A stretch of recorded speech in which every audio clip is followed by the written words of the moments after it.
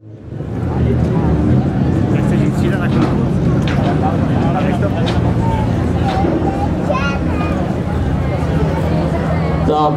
teď domácí zlínská posádka Aleš Máčela, Josef Píža, ty není třeba představovat, spravedlní časníci, starý historik a hlavně ten jejich Mercedes, který ukáže, jezdit hrozně rychle, nejenom ve městě, ale pak i mezi těma stroma na těch úzkých cestách s tím obrovským korábem, obsah 5 litrů v Mercedesu, takže 5 litrový auto.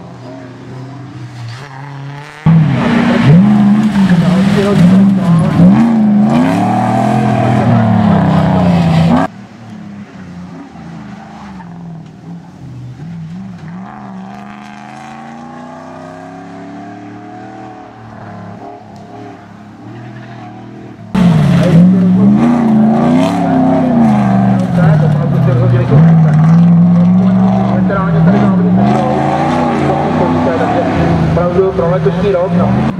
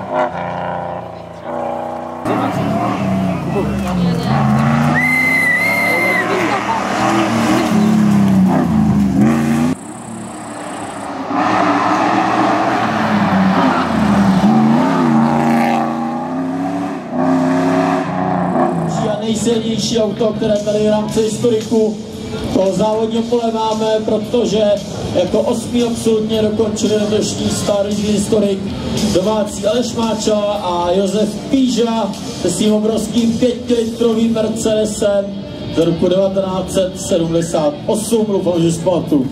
Dobře, takže určitě krásný výkon tenhle koráb dojezd na osmém místě absolutně, třetí v kategorii a první ve třídě. Vešli jste se všude, koukám. No, ne úplně, jsme chtěli, ale tak nakonec jsme tady.